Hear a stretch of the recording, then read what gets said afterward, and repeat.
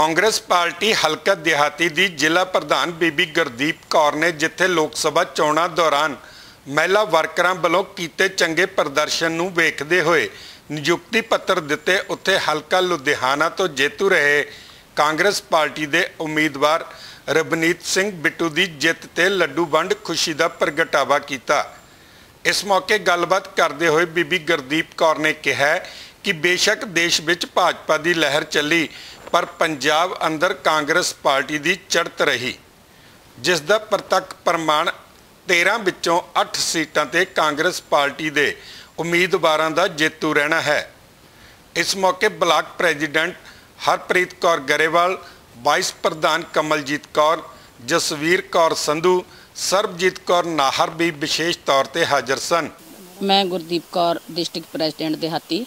ਜੋ ਕਿ ਅੱਜ ਰਵਨੀਤ ਬਿੱਟੂ ਵੀਰ ਜੀ ਦੇ ਔਰ ਡਾਕਟਰ ਅਮਰ ਸਿੰਘ ਦੇ, ਤਵਾੜੀ ਸਾਹਿਬ ਦੇ, ਪ੍ਰਨੀਤ ਕੌਰ ਜੀ ਦੇ, ਜੋ ਅਸੀਂ 8 ਸੀਟਾਂ ਜਿੱਤੀਆਂ ਨੇ, ਉਸ ਦੀ ਖੁਸ਼ੀ ਵਿੱਚ ਅਸੀਂ ਅੱਜ ਬੀਬੀਆਂ ਨੇ, ਸਾਰੀਆਂ ਨੇ ਰਲ ਮਿਲ ਕੇ ਲੱਡੂ ਵੰਡੇ ਆ। ਔਰ ਜਿਹੜੀਆਂ ਬੀਬੀਆਂ ਨੇ ਮਿਹਨਤ ਕੀਤੀ ਸੀ, ਸਾਡੇ ਨਾਲ ਮੋਢੇ ਨਾਲ ਮੋਢਾ ਲਾ ਕੇ ਟਾਈਮ ਵੀ ਕੱਢਿਆ ਤੇ ਰੋਜ਼ ਇਹਨਾਂ ਨੇ ਸਾਡੇ ਨਾਲ ਮੋਢੇ ਨਾਲ ਮੋਢਾ ਲਾ ਕੇ ਜਿਹੜੇ ਚੱਲੇ, ਉਹਨਾਂ ਨੇ ਸਾਰੀਆਂ ਬੀਬੀਆਂ ਨੂੰ ਅੱਜ ਮੈਂ ਲੈਟਰਾਂ ਵੀ ਦਿੱਤੀਆਂ ਨੇ ਤੇ ਅੱਗੇ ਵਾਸਤੇ ਵੀ ਸਾਰੀਆਂ ਨੇ ਵਿਸ਼ਵਾਸ ਦਿਵਾਇਆ। ਕਿ ਜੋ ਅੱਗੇ ਵੀ ਸਾਨੂੰ ਪਾਰਟੀ ਕੰਮ ਦਊਗੀ ਵਰਕ ਦਊਗੀ, ਅਸੀਂ ਤੁਹਾਡੇ ਨਾਲ ਮੋਢੇ ਨਾਲ ਮੋਢਾ ਲਾ ਕੇ ਚੱਲਾਂਗੇ। ਥੈਂਕ ਯੂ ਅੱਜ ਅਸੀਂ ਬੀਬੀ ਗੁਰਦੀਪ ਕੌਰ ਜੀ ਦੇ ਘਰੇ ਆਏ ਆ ਸਾਰੀ ਮਹਿਲਾ ਟੀਮ ਇਕੱਠੀ ਹੋਈ ਆ ਤੇ ਬੀਬੀ ਜੀ ਨੇ ਸਾਰੀ ਮਤਲਬ ਜਿਹੜੀ ਸਾਡੀ ਟੀਮ ਜਿੱਤੀ ਆ, ਕਾਂਗਰਸ ਪਾਰਟੀ ਦੇ ਜਿਹਨੇ 8 ਦੇ 8 ਜਿੱਤੇ ਨੇ ਕੈਂਡੀਡੇਟ ਉਹਨਾਂ ਦੀ ਖੁਸ਼ੀ ਦੇ ਵਿੱਚ ਅਸੀਂ ਲੱਡੂ ਵੰਡੇ ਨੇ ਤੇ ਬੀਬੀ ਸਾਡੀ ਬਹੁਤ ਮਿਹਨਤ ਕਰਦੇ ਅਸਮੀ ਦੇ ਨਾਲ ਮੋਢੇ ਨਾਲ ਮੋਢਾ ਲਾ ਨਾਲ ਲੱਗੇ ਤੁਰ ਰਹੇ ਆ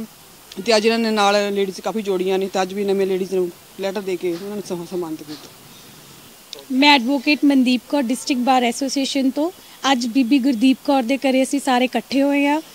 ਸਾਡੇ ਰਵਨੀਤ ਸਿੰਘ ਬਿੱਟੂ, ਸਰ ਐਮਪੀ ਸਾਹਿਬ ਜਿਹੜੇ ਕਿ ਦੁਬਾਰਾ ਤੋਂ ਜਿੱਤੇ ਨੇ, ਉਹਨਾਂ ਦੇ ਖੁਸ਼ੀ 'ਚ ਅਸੀਂ, ਜਿੱਤਣ ਦੀ ਖੁਸ਼ੀ 'ਚ ਅਸੀਂ ਲੱਡੂ ਵੰਡੇ ਹੈ। ਨਾਲ ਸਾਰੀ ਮਹਿਲਾ ਟੀਮ ਇੱਥੇ ਅੱਜ ਇਕੱਠੀ ਹੈ, ਜਿਨ੍ਹਾਂ ਨੇ ਮੋਢੇ ਨਾਲ ਮੋਢਾ ਜੋੜ ਕੇ ਬਹੁਤ ਹੀ ਸਪੋਰਟ ਕੀਤਾ। ਉਹਨਾਂ ਨੂੰ ਲੈਟਰਾਂ ਦੇ ਕੇ ਮੈਮ ਨੇ ਬਹੁਤ ਸਨਮਾਨਿਤ ਕੀਤਾ। ਲੁਧਿਆਣਾ ਤੋਂ ਗੁਰਮੀਤ ਨਿੱਜਰ ਦੀ ਰਿਪੋਰਟ ਕੈਮਰਾਮੈਨ ਕਮਲਜੀਤ ਗਰਚਾ ਦੇ ਨਾਲ fox.ਪੰਜਾਬੀ ਯੂਰ ਸਿਟੀ ਯੂਰ ਨਿਊਜ਼।